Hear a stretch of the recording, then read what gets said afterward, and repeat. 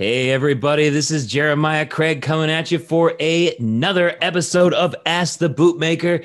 Today, we have Jim Brainard here out of Colorado of JB Custom Leather. Thank you so much, Jim, for joining me. This is going to be so much fun, and I am so honored to have you here. Thank you for having me. It's even better. oh, man. Uh, so I have a lot of questions, especially on one particular boot uh, that uh, is in the, I guess, the cover image of this interview. But I think I want to start things off with just your background and how you got into boot making, just so that we uh, set it up contextually for all the viewers right now. All right. Well, background is as a young kid and family and horse showing and rodeo, junior rodeo and stuff. Uh, I think as a little rodeo cowboy, you're always interested in leather stuff as a guy. I mean, a lot of us were. So, you know, I making hand tool belts and, and wallets and started doing chaps. And first, uh, we moved around a little bit from Colorado, where I was born, to Montana and Oklahoma. In Oklahoma, um, I always like to tell this story, and I'm sorry I got to do this, but it's uh, one of the first experiences with boots period to me was my mom taking her boots to the repair shop down in uh, edmond oklahoma. And we went in there and uh, picked up her boots. And it's a very stereo what i call a stereotypical boot repair shop of of the 40s 50s 60s on um, very um, eclectic place just piles of leather rubber soles heels mesh glue. You don't know even what you're looking at and I walked out of there with her and I said, I'll never work in a place like that. And this was 1973. By 1974, we moved back to Parker, Colorado. And I hit up in this Western store. Some some guy was talking. He goes, "I need some cowboy polo shops." You know, he's asking the owner where he could get some. And I'm scared, little 14 year old. And I said, "I can make them for you." And the in the back of the shop happened to be another one of these uh, little boot repair shop guys he was subletting in the back and they noticed that from me.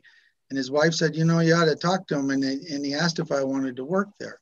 So a year later i was working in a place exactly like that. Um, so it, it's always been kind of a funny thing to me in that but that that started the journey of of learning kind of the the basis of what footwear was how it was constructed by repairing it. So from 1974 uh, on. I was in, in boot shoe repair, uh, saddle and tack repair, all the leather goods, and also doing the, the crafting of making things that I was doing. I'd learned the repair business from a third generation bootmaker, Dave Hutchings, who we lovingly call Hutch. Uh, he is my mentor for the first five years as an apprentice with him, but he didn't teach me bootmaking then. Um, it was primarily the repair work. And for the next 27 whatever years i did boot and shoe repair built up a big business had you know retail footwear and all this stuff. Hadn't done any hadn't made any boots at this point. Um, i got to the year 2000 and, and uh, kind of sold off part of my business to a partner. I brought a partner in and i moved home. I started working from home but it was like you know all i'm doing is repair. And my wife said you haven't you should call hutch back up and because he never taught you boot making so this was 13, 14 years ago. Um, I did. I called him up and he did a typical two week course, and I took his course and and uh, learned the basics of boot making.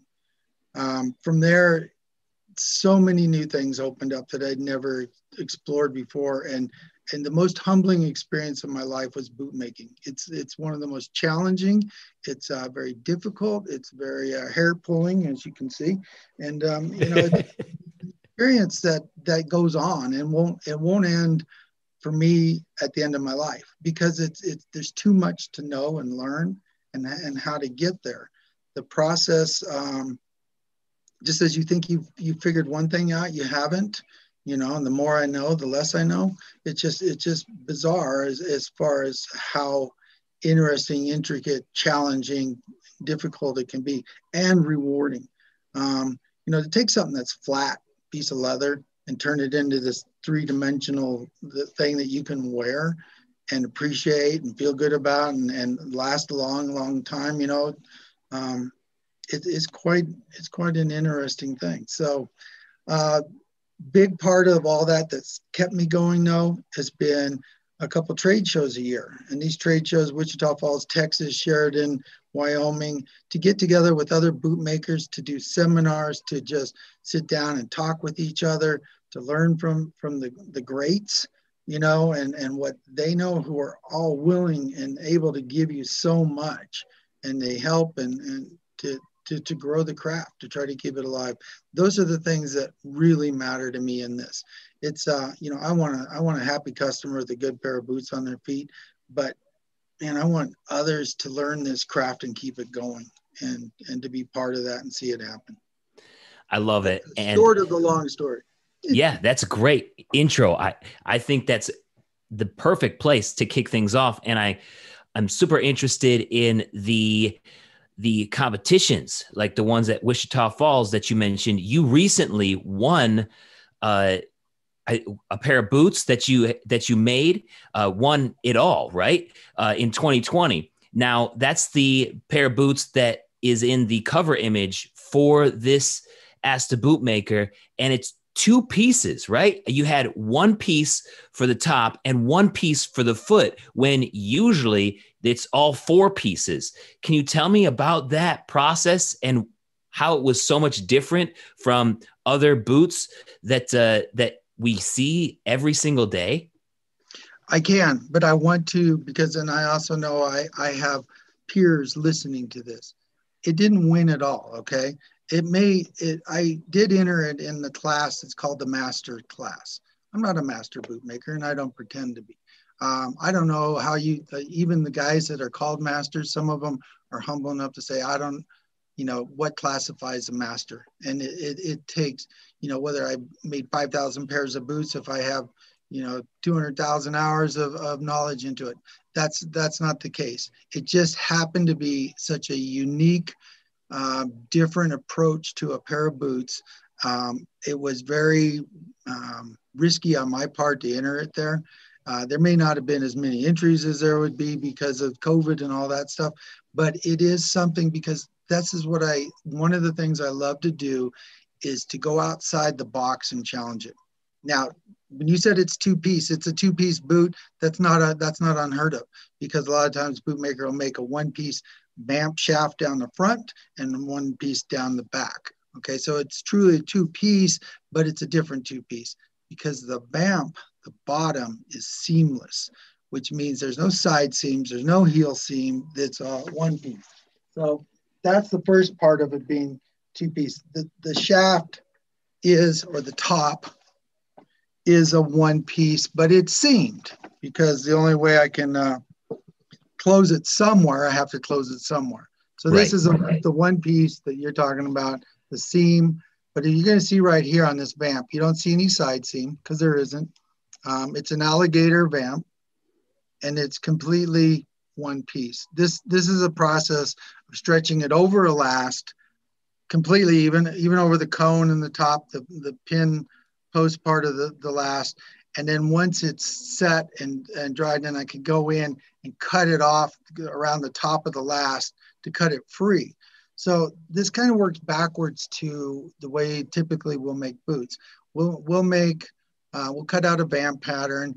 Um, most or many bootmakers crimp that vamp to start to form the shape to it. Um, but it's just in the, in the uh, vamp, the fore part, not the heel counter uh, the back part. So they crimp that and then go on build all the rest of the stuff, do the artwork, the tops, get all that together. Then they get sewn together and then they get lasted at the end. All this, the, the boot is then put together and pulled over that last. So this one took a, a two turns at the last in order to make it. So the first one was to stretch that thing over the top. While it was stretched, I went off to making the uh, the top, and that's really a, was a process of I like this. No, I don't like that. I'll do this. No, I'll do that. And I mean, it just kept changing until I figured out what I wanted. And um, I love the colors. I'm a very um, natural, basic colors for myself. It's not that I made this boot for myself. I made it just to try to make it happen. So then um, the inside, the liner, we call it a drop-in liner because it's another, it's a whole nother boot.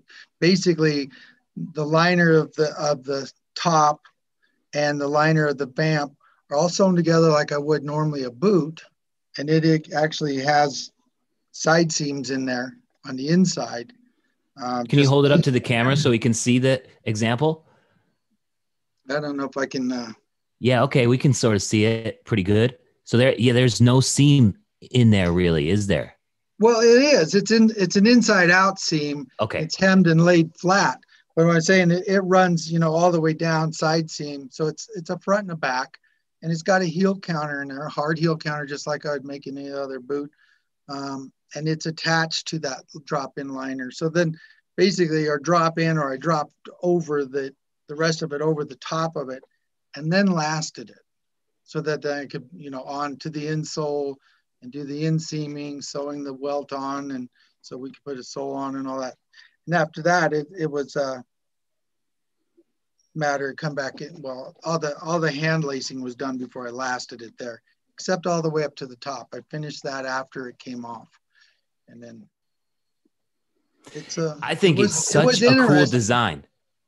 Well, I I got this idea from when I go to Sheridan show, Leather Crafters. Um, they they run that show up there, the World Leather Debut and all. And I'd seen a one piece shoe, and it was done. I, I think a Japanese artist had brought it, and and it was a beautiful, beautiful shoe, and it was seamless one piece. And I can see that it's. I felt that might be, there's nothing easy about it, but I'm going to use the word easier to do because of how you can finish, the, you know, the top or, or around a shoe but then to add a boot top to it and finish it was just one more step that I thought, in my opinion, was a little more difficult. But trust me, it doesn't. This boot still doesn't compare to that shoe. That shoe was just fantastic. It was all hand tooled in the sole and all that, and you know, and tooling's nice in the sole. It's pretty, but if you're gonna wear it, then why do that? Right. yeah, if anybody wants to see how uh, Jim laid the alligator over top of the last for that one piece, uh, he has some great pictures on his Instagram, which is at JB Custom Leather. I highly recommend you go check it check it out because he's documented the whole creation process. It's very interesting to look back at those now. Uh, when the boot is complete. How about that inlay? Does that tree mean anything to you? Um, why did you choose it? Well, I again, like I say, I think I had some different ideas that I wanted.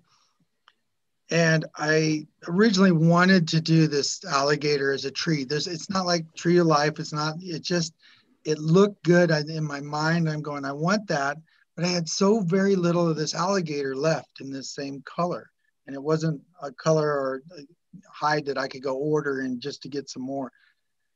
Um, and I thought I didn't have enough to do it, but I laid it out and worked out. You don't know that this tree has two or three pieces to it. Um, oh wow! Where, I, where I've had to splice it in so I could have enough. And since there's two of them, you know, the left and right boot uh, had to do the same thing with both of them. But it just looked cool to me, and in my mind's eye, I was like, this would be really cool to bring this alligator up and, and run it right up in there. And then to kind of use the quills of the ostrich kind of look like parts of the tree of some, you know, or maybe even stars in the sky or whatever. Yeah. So I don't know. It, it just became a thing in my mind. That that's what's fun about this kind of stuff. When you when you're working for a customer, you know, there's still a lot of that artwork goes on in your head when they're asking you to do some kind of inlay or overlay and and where that may go and trying to get that conception for them to come to to life. But when i do something like this for myself i call it a concept boot or whatever um, you know i can make it up as i go and change it as i go whatever comes out. It's uh i almost tried something else and i thought no this is what i want to do and it works so. I think it's a great great uh, practice example. Like that came out amazingly. I have a question about how you piece together um, the rest of the alligator through that inlay in a way that isn't noticeable when you're just looking at it. How how did you make that work? Did you go along where the tiles meet and sort of uh, piece it together in that way so that you just can't notice it when you're looking at it, at least in pictures? Yeah, finding, like you say, the tiles of the print of the alligator are key to helping do that.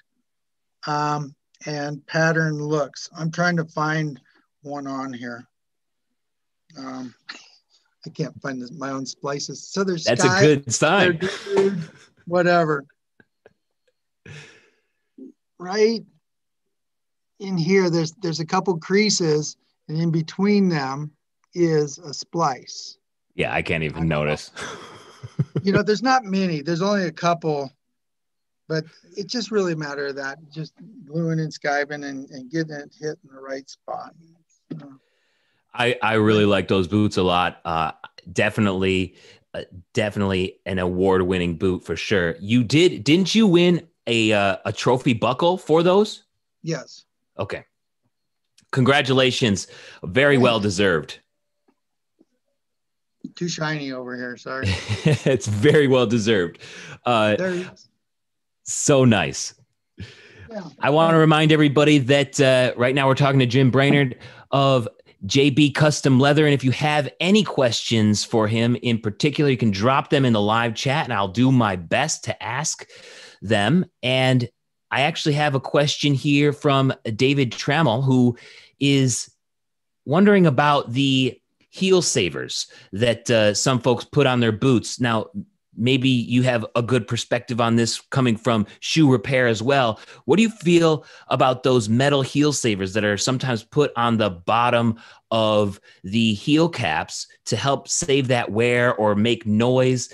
Uh, do you have any perspective? I see you're hanging your head. You got an opinion. I want to hear it.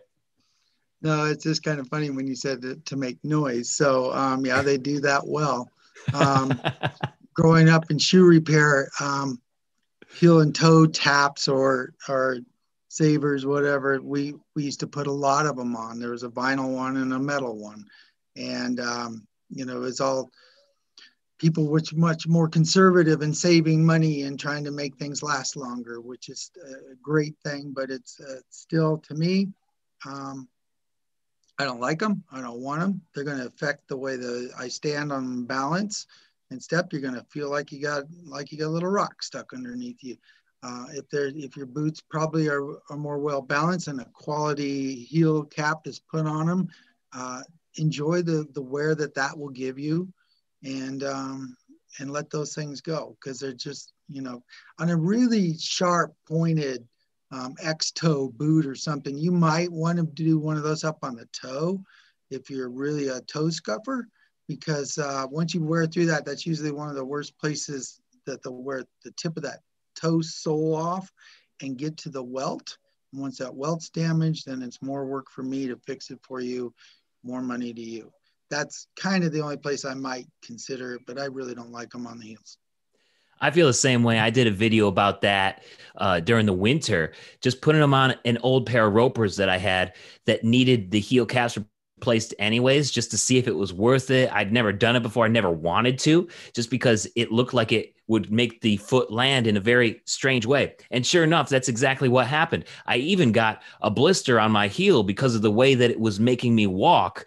And I had never felt that before even adding them. So it actually made my boot experience worse. And when you think about it, the the heel saver maybe five bucks or uh, 10 bucks at the most but then getting your heel caps replaced maybe 25 30 bucks. So you're really not saving that much money. And i feel like it's worth just getting the heel caps replaced when they need to be. Yep. I would agree there thank you for asking that question david and also jim for your answer. Um, can you tell me a little bit about your experience in the repair industry and then moving over to custom boot making? How do those industries differ if they differ at all? Well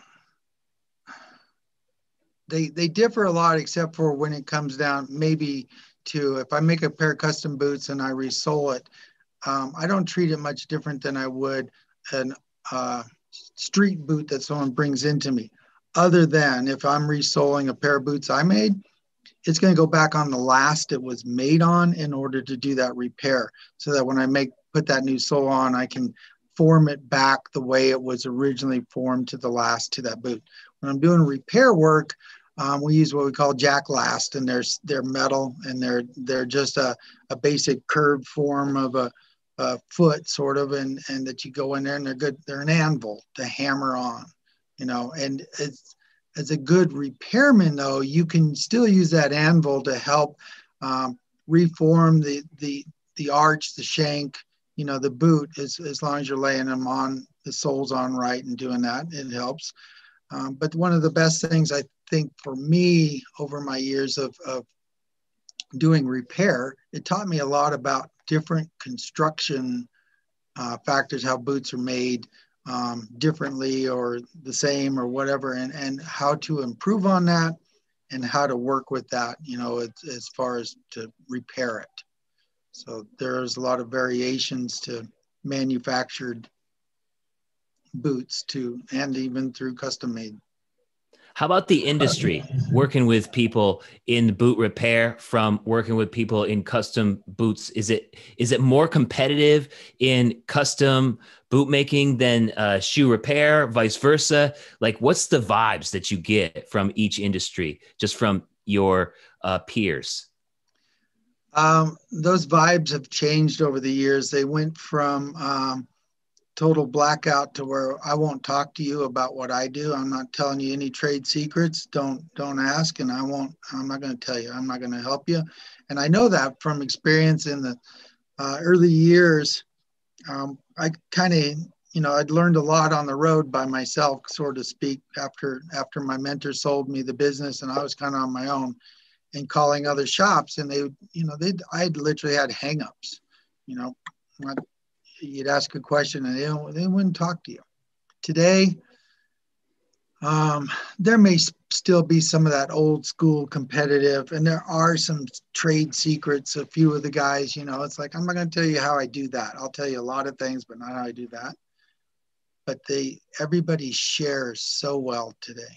And that's what these trade shows show me. It's, uh, I'm not seeing a lot of repair industry people in anymore in what I do. Even the repair industry itself has has diminished terribly. I mean, there's not a lot, and there's not a lot to share. And there are there are shops that are thriving in the repair industry, typically geographically and in uh, equestrian communities and things like that. I think there's there's more because there's more cowboys wearing boots and and getting them repaired than necessarily in the city where there's you know city guys wearing dress shoes, which are pretty much very much disposable things that you can get so cheap today. Um, so there's not a competitive factor in repair. Um, we do like to compete in boot making, especially at the shows, but I still take that back to days of being a kid in a rodeo. It promotes you to work harder and do better, but we're, we're all comrades in doing it. It's, it's a, it's a healthy competition it is. I love to hear it. I feel like we could all benefit more from uh, healthy competition, uh, sort of jabbing with your competitors or with your peers, uh, just just to better yourself and uh, the the folks around you. That's that's that's a fun thing to hear. One thing that we talked about previously when we spoke on the phone was the fact that you have purchased business businesses or pieces of them and even sold off some of your own like you mentioned earlier in this interview. Um, that's something that i really don't talk to a lot of bootmakers about is uh, buying and selling portions of their businesses when you have done it a few times throughout your career. Um, can you tell me the benefits or maybe the disadvantages of purchasing portions of businesses and selling some of them off and how that uh, affects your business plan as a custom bootmaker? Well, let me let me uh, kind of rearrange that story, and you know we talked about that a little bit. But what what that comes about from is when I started with the the initial shoe repair business that I bought. Um, I always call it a three piece band, even though it's more than that. But there's the basics of equipment curve needle stitcher, finisher, sewing machine, hand tools. So with that, with that little band set, you know, we can go out and do stuff. But there's there's other things that sometimes we want, we need, we wear out, we break. So we we add on. And when you're young kid, when you're 18 years old and you just bought your first business and you have no money or no sense in your head, you uh, you know you work with what you got. And a lot of people still do. They start in and they like they say, you know, I just I want a machine to sew leather. I'm like, well, what leather do you want to sew? Because there's a lot of machines for it. Um, you know, we just we try to make do with what we got. Well, as I grew, I would try to add on machinery, and sometimes I could afford to, and sometimes I couldn't. And I'd find shops, and shops would be for sale. Nope, you can buy it all, but I'm not just selling one piece. And that started me into a, a process of going, um, eventually where I could, I, I would buy a whole shop so I could get the one piece I wanted and then I'd sell the rest of them off. And that was to, um, to grow my business, to get something I needed better. But it became more than that for me because the love of the industry, and since I've been in it since um, basically 1970, starting as a leather crafter to now, it's um, I like keeping this stuff alive. And some of this machinery is not common. It's not easy to obtain. It's not brand new manufactured out the door. Sutton Landis, those those companies have primarily closed down. There's Landis International. There's, but you know, currently today there's Gateway. There's Shoe Systems Plus, and they manufacture some stuff, or they remanufacture and rebuild and restore this stuff but it, just kept growing for me where I would start doing this, buying, improving what I had uh, to get something better and to, to sell off the rest. And it, it started working for me as a kind of a side business. I don't make it my business business, but I have to do it to make a little money. I uh, I'll buy these shops up and I'll take this stuff to trade shows and get them in the hands of guys that want them. Um, I'll do it by advertising on the internet, whatever. I've I've become a, um, one of the guys that sometimes people call me from the other side of the country and say, "Yeah, they said call you. You might have this," and you know, and I might, and I love it. I love to get these things staying alive. There's some of them that unfortunately even I have to say goodbye to and take to the scrapyard because they they don't have any value and use in the industry anymore, and uh, some people are surprised at that, but it's like it is what it is. Uh, so yeah, I I like to do it. Um, Got to make a few dollars at doing it. It's a great thing for me to do at the trade shows. So I'm down there really to learn about boot making and to compete in the competition. But I need something else to do while I'm there, so I bring a trailer full of machines and and sell them. So. Oh wow! So you bring them along with you from yeah, Colorado down to Wichita Falls. I, I, I rent booth spaces there and at Sheridan and uh, set up you know, and bring I'll bring curve needle stitchers and finishers and patch machines and hand tools and last and you know everything in the in the trade that I can get my hands on from these other places I buy out. So it's uh, and it's fun. That's that's a great spot to be, especially because when somebody finds something um, like at the thrift store or whatever, and then puts it up on eBay, they might be just going crazy with the prices um, making it much more uh, expensive than what it needs to be. So it's it's nice to have uh, somebody like you. I'm sure people are super grateful that you're selling these uh, machines for what they're worth uh, or a little bit less than to help them get their business off the ground. Have you ever bought any businesses for any other reasons, or has it just been primarily because of the equipment that they had? yeah, I've never bought an, an active business to, uh, you know, keep running or or to move or anything like that. Not at all. Um, it's it's because they were closing the doors, retiring, passed away, you know, whatever the the reasons are that you know. Other than that, so no. Um, I've had two retail storefronts at the same time, cat one in Castle Rock and one in Parker at, at I'll say the height of my uh, um, retail front business days. You know, I'm a home based business now.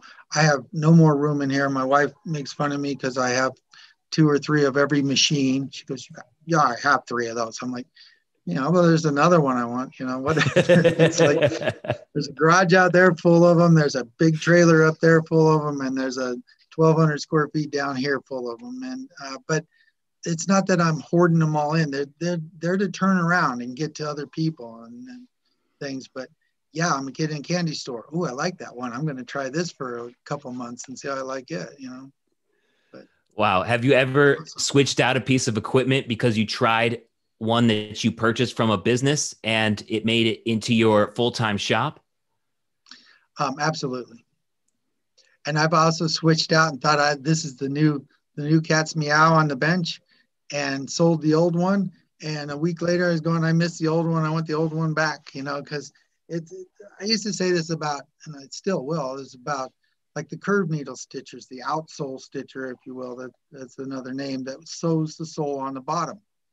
I said, I swear that you could buy any one that they built on on the assembly line that one day, you know, we'll say they made six in that one day, they're all going to be different. None of they all have their own quirks and and things about them that it's just interesting.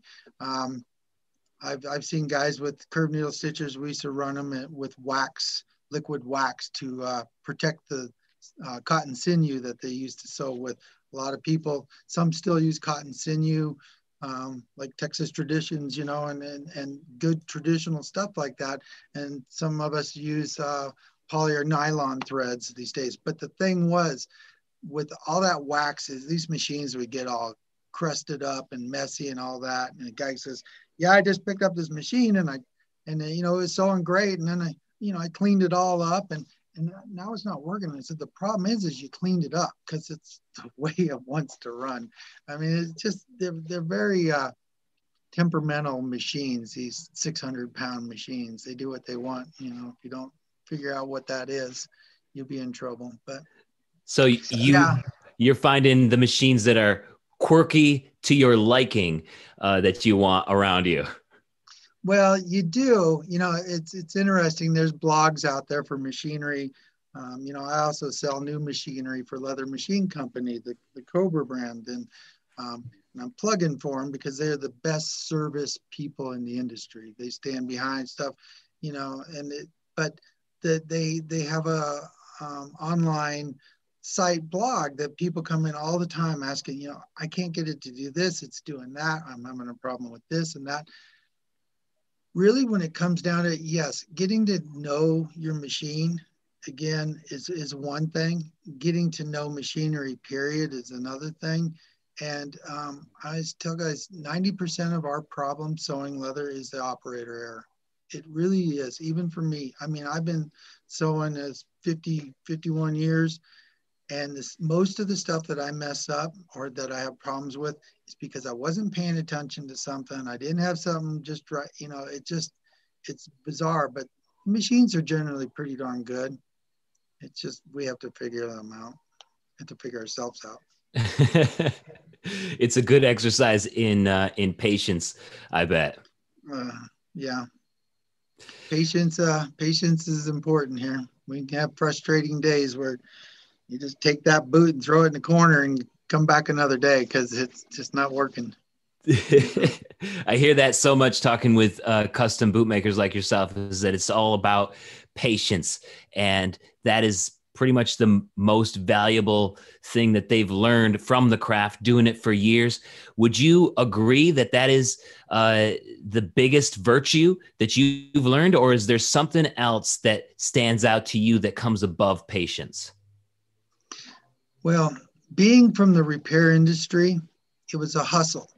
You got to go, you got to get it done, you got to be ready. The guy needs it tomorrow. I can't wait. And so the, there's there's not a lot of time for patience there. It's it's precision and and speed and time get it done. To sit down and to learn how to sew multi-row layer uh, rows of stitching, one row at a time people don't always see that or know that and understand that. I mean, this is whatever six rows of stitches, so it's not that many, but to, the patience it takes to follow that and get used to doing that, um, you want to add speed to it. And if you're impatient and you try to add speed before you're used to doing it, no, patience is great. It's almost It's almost as difficult as learning to raise children. a lot of patience. Wow, I love that uh, that similarity there, that analogy. That's such a good one.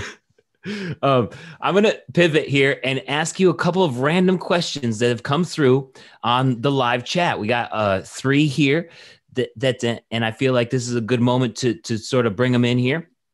Uh, they're just sort of all over the place. Uh, so uh, bear with us for a second.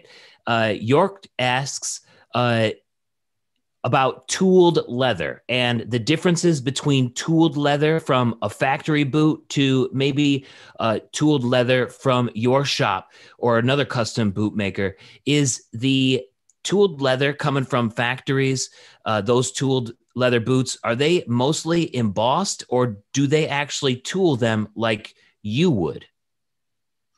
All right. So um my answer would be first to say more often embossed, but we're going to talk about price, and that's going to make some of the difference. But some of the um, shops that do um, that aren't one man shops, you know, little bigger production shops have craftsmen who hand tool their tops. Um, but let's and to throw me in the mix of this, I've done hand tooling. I started hand tooling as a kid. I have not hand tooled boot tops. And that is a different um, kind of, I'll call it a niche in, in what a bootmaker might do or might not do. I don't know a lot of bootmakers that tool tops. There are plenty that do, but I don't, you know, I just don't know a lot of us that, that do it that way.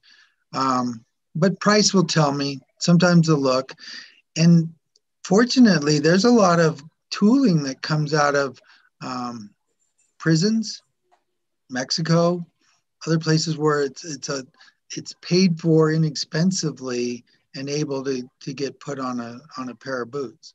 Um, so for me to sit down and you know if I was going to do go about that and try to tool a pair of tops or for a pair of boots, um, it's going to be very expensive you know, and, and I will do it absolutely, but it's a it's a long, expensive process and, and timely for me. So. Do you um, have people in your network where uh, you will commission toolings? I've heard of other bootmakers commissioning people who absolutely. just tool leather. Absolutely. So you know that that's always options. Even there's even uh, makers who commission others to do top stitching and patterns and inlays and overlays. You know, they, they build a great boot, but it's like the artwork part of it may not be their cup of tea to it, you know, or something outside of where they want to go. And I, I, uh, you know, I respect and uphold that with all the makers because we all either we have areas that we're familiar with and we're good at, and we have areas that we're not, and we don't want to go or will go. Uh, a lot of bootmakers I know grew up like me in the in the repair business too, and they say I stopped doing repair. I won't do repairs, and I mean stuff like fixing the broken zipper on this, or you know sewing up the saddlebags and that kind of stuff too. Not not that they won't repair soles and heels, but even some of them don't want to do that outside of their own boots. So, um, for the same manner, whether they're going to tool their own tops or have somebody else do it. Yes, we have people we can network with and do that. I, I love hearing that. It reminds me of what happens in music too. And you're not going to play every single instrument, right? So you're going to need a drummer uh, to put down a track or somebody to uh, be featured as an extra singer, right? Because I'm not going to sing the female parts, right? So I, I feel like there's a similarity there that, that kind of crosses over.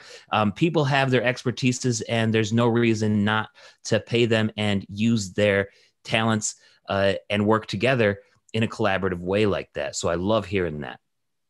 Yeah, and it's true almost everything you just said except for Stevie Wonder. So if we're going to put in somebody that can put it all together, but, right? Okay, yeah. respect. I got another question here from Nee Montiel, who asks an interesting question. Uh, what sort of socks are the most comfortable to wear with boots. I'm I'm interested to hear your perspective as a custom boot maker.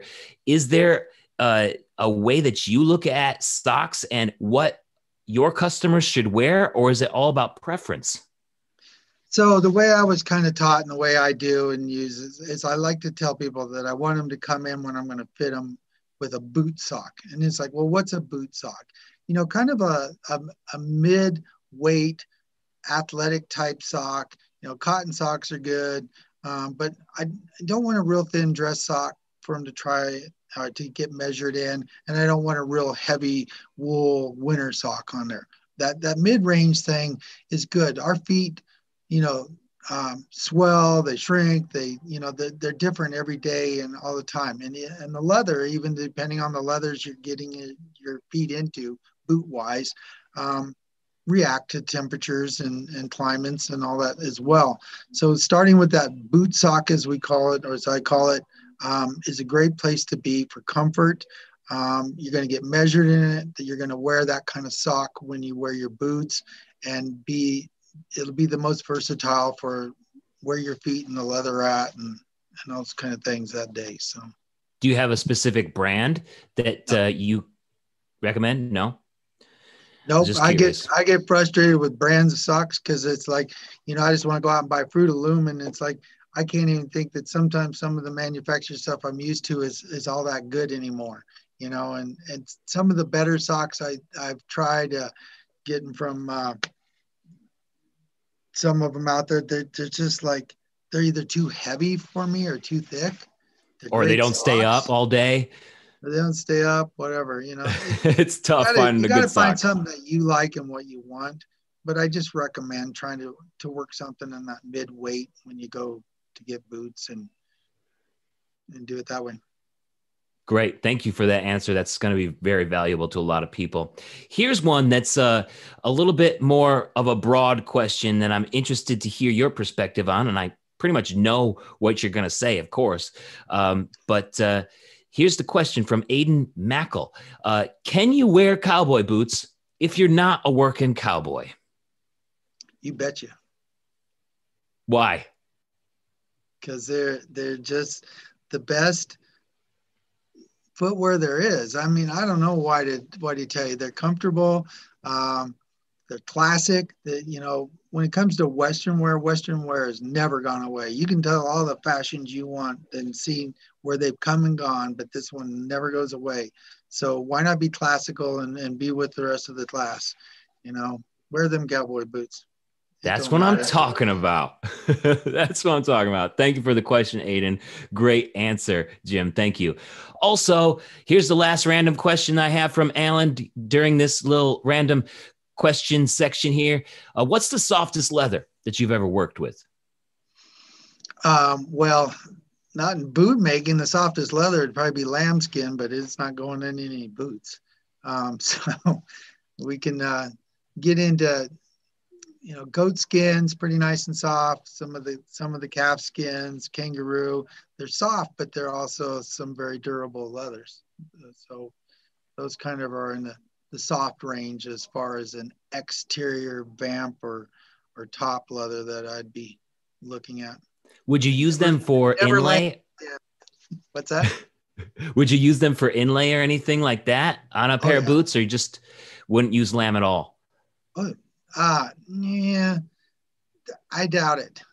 I doubt it. Most of the lambskin stuff comes into really nice garment type things but the, the layers, so the epidermis or whatever of our skin layers, you know, just like people, there's layers.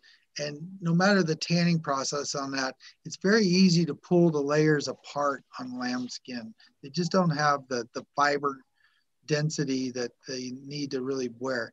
You could certainly put it in some inlays and stuff where there's not movement and things in the top, but why? You know, if we want colors and, and for inlays and all, um, you know the calf skins the goat skins those those things there's there's plenty of that and it's nice thin stuff that we can skive out the edges and blend in really well so.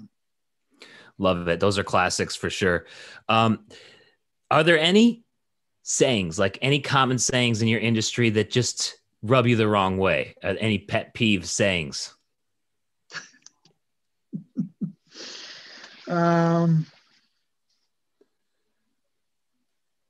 no, I mean, there's there's sometimes attitudes of there's the right way or the only way, but I don't see a real saying in that. But I okay. I how about this one, saying? How about this saying? How, how about the saying? If it's like a glove. Oh, well, you took that from me. I want to. I want to. You know, people say I want I want custom boots because it's going to fit like a glove, and I said I've never bought a pair of gloves that fit. and that's uh that's just the way you know it's the way I feel about gloves. So I hear I you. want a pair. I want a pair of boots that fits my feet and feels good on my foot, and not like a glove. I hear you. I've had the same problem every time. Every time somebody says that, and I've sort of worked it in a little bit here and there, but I've never really understood it because I got like really big hands with long fingers. Even the extra large gloves, they never fit right. It just doesn't work for me. so I did I did always have one, and I say this with great admiration and love to my my first mentor in boot making, Hutch.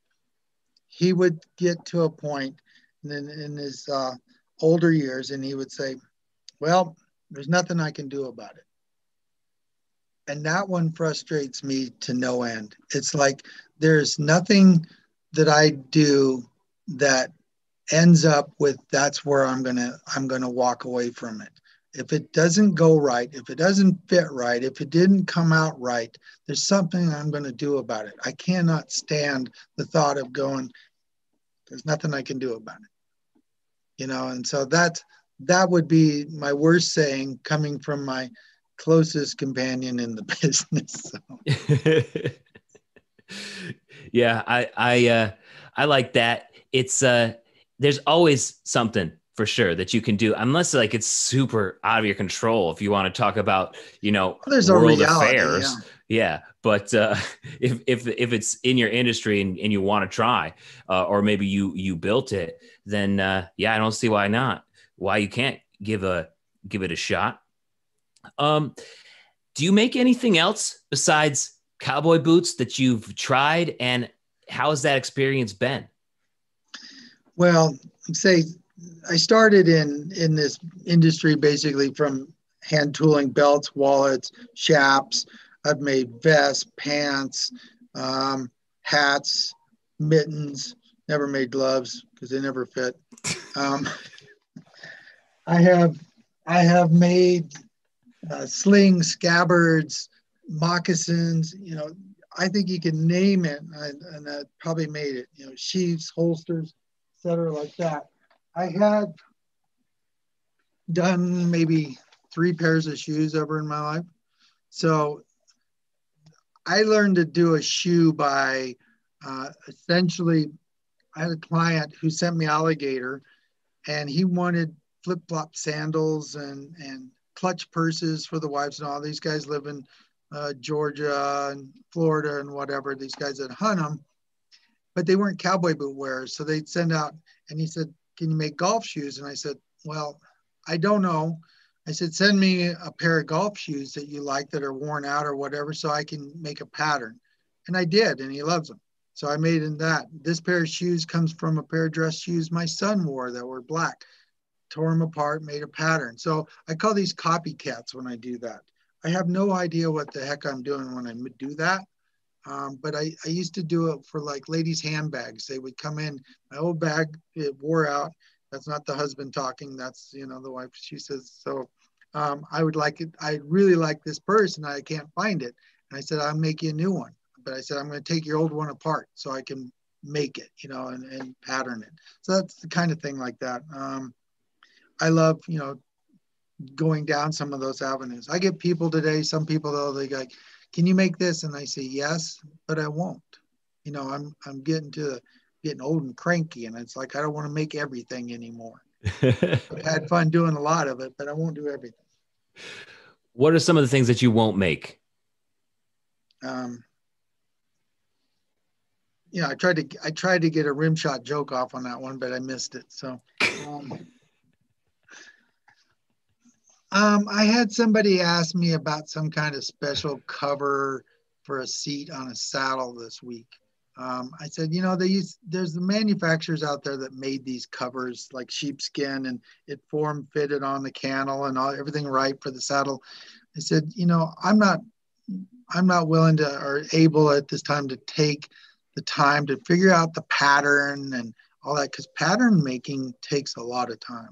And when somebody wants something special made that there's nothing to go off of, um, engineering that, you know, today's um, manufactured items come off of computers that are generated and sent to, uh, you know, laser cutters and all these things that can do it perfectly. And they may be assembled by hand eventually, but they're, uh, it's it's so much involved. So there's so many things that I won't make. I don't I don't have any one set thing like don't ask me that. If I if I don't like it or it's it's not going to fit into a time or a cost, I'll say no. Makes sense. Makes sense. I got a couple more questions here through in the live chat. Got one from Edgardo, and he's asking about the differences between a full welt boot and one with the lemonwood pegs in there, and if it's possible to ever convert the two and take a full welt and have um, pegs instead. And if you would want, like, why would you want to? What's the value there? First, I'd probably want to see what kind of heel height and shape this boot is and, and what it is. Um, it kind of comes down to the same premise. Sometimes I'll get someone come in and go, These were my daddy's boots and they're too big and I, I, I want to keep them and, and can you re-last them and make them fit me? And yes, and you can do the same thing, you know, in the right, with the right amount of material, the right size thing, you can relast some of these things onto from what was maybe a low flat heel shoe or boot uh, like a roper and and put it up onto a you know an inch and a half tall heel.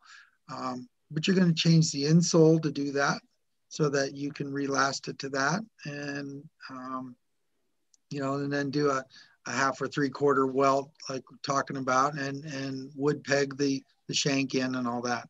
So it's it's certainly possible and it it would be it doesn't make it a better piece of footwear because it's wood pegged or not. But it depends on how it's built because if, if we're only dealing with a half welt you know around around the ball of the foot um, side to side it's you, you've got to hold the rest of it together.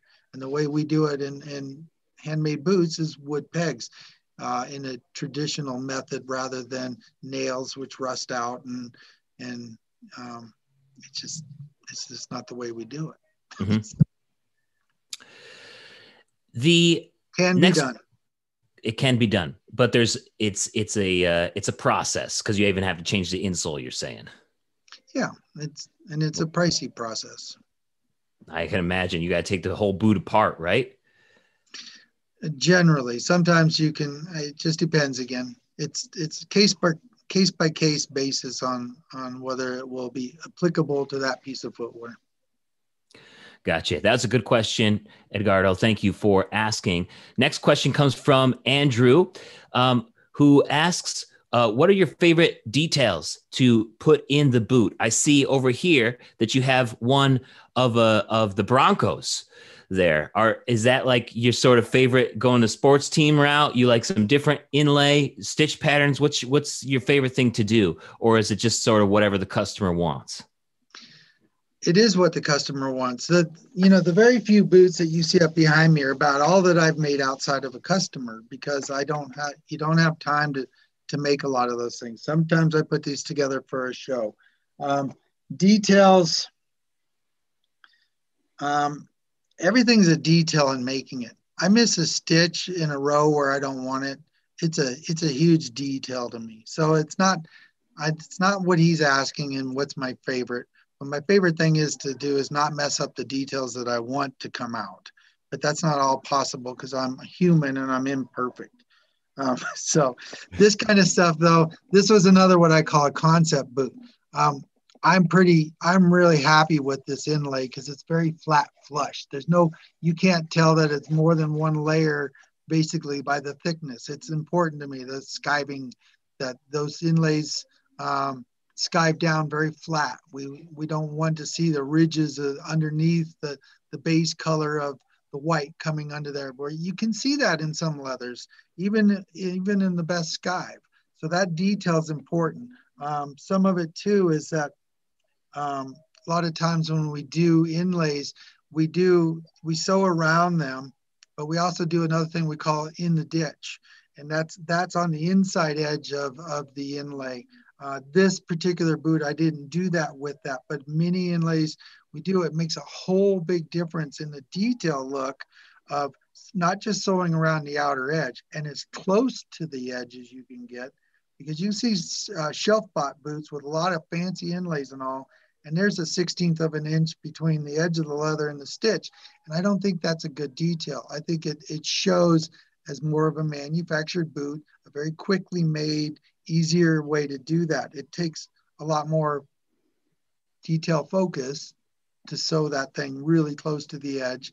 And a lot of inlays, it makes them pop out and look better to sew the inside in the ditch. And uh, a lot of my cronies, if they're listening or not, they know exactly what I mean by that. And then you can do weird things like this. So, and uh, I thought, well, football would be great. Um, just a FYI, this is truly Horween football leather by a Horween oh wow manufacturer. Um, which in the pull tab you can see the you can see the grain, but what I learned lasting a wet lasting of Horween leather football leather takes that pebble out of it. So that wasn't the best of ideas there, but that's an interesting on there. Nice, love it. got the Super Bowl trophy. Manning and his mate. His mate, where did he go? He's up there. You know who that is? Elway. There you go. Nice. What a and great neither, pair of boots. Neither one of them called me, so I guess I'm just stuck with it. Lame. well, Jim, thank you so much for taking this time today on Ask the Bootmaker. I really appreciate you uh, sharing your expertise and your time. And for everybody watching and ans- asking the questions, uh, is there anything that uh, you'd like to leave us with, uh, whether that be your website and Instagram handles or just a parting piece of wisdom to share? Um, I think it's first of all wonderful that that you take your time to uh, to showcase ours, and I just hope people look at you in the same way. Look at us; we're artists. We all have our things, whether it's music or, or handmade crafts or uh, what it be. So, um, you know, respect to each one of you who are artists and, and those who are looking for artists. Um, find us. I'm here. Yeah, I'm on I'm on Instagram, Facebook, got a website that's uh, rarely kept. I spend most of my time, I'll throw up stuff on Instagram, but uh, appreciate you as an artist and then being with us. Uh, last bootmaker that, that I uh, taught with, um, he's a musician as well, and he compares music to bootmaking. I don't know how, but he says there's a thing about the time he's a drummer and accounting and all this. It's a very he says a kind of a parallel thing to the art. So us artists, we're strange, but uh, we love it. You gotta be. It's so true. love it for sure. Uh, thank you so much. It's uh, it was a pleasure having you. I love doing these and and uh, spreading the joy of cowboy boots and uh, your your craft needs uh, to stay alive. So I'm going to do whatever I can to uh, to help increase the interest in it. Again, thank you so much for your time, Jim, and uh, thanks everybody for watching. We'll see you later. Thanks, Jeremiah. Thanks everybody. Bye.